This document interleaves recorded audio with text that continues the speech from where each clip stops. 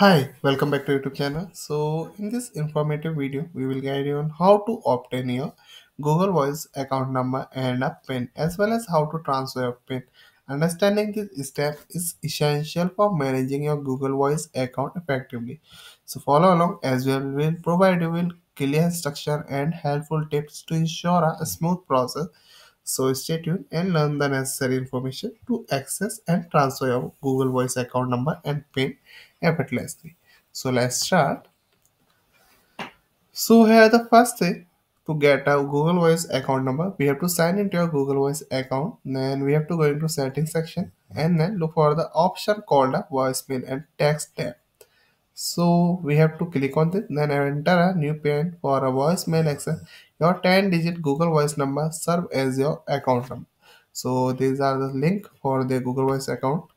We will provide you this link in our description box. So you will go through this simply.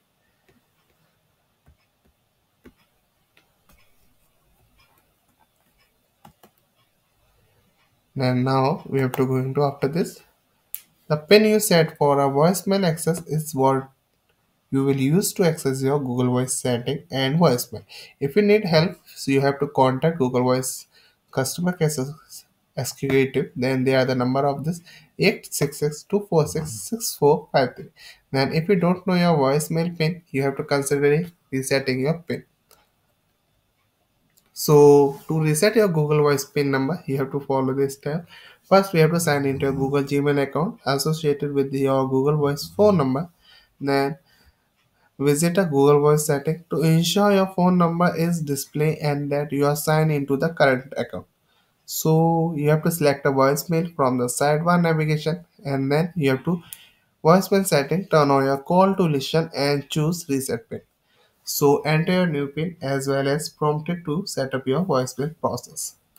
Access. Then here the first method to get a, your for your transfer pin so here the first method. this is website option so we have to simply go into their website uh, open google voice on your computer. Then you have to click on setting. And the top right corner then select a setting again. So navigate to the account section. And now here the one tab is called a port a number to a google voice. So you have to click on this get started. Then after you have to enter the phone number you wish to port. So you will receive a text message within a six digit code so these are the link of your this step.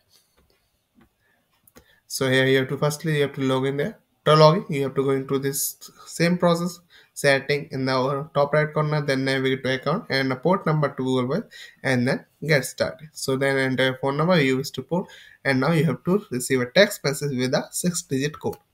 So here the second matter. Open the voice app in your android device then tap on the menu. At the top left then select a setting so under account, you will be find your voice main number display. If no number is shown, so it means voice is not set up for a Google account you are using. So if you have another account, the voice sign into this account, then to add voice to a personal account, then tap on a get a Google voice number. So these are some simple steps via website or a app. So thank you for watching our video. I hope you like it and we will get you in our next video.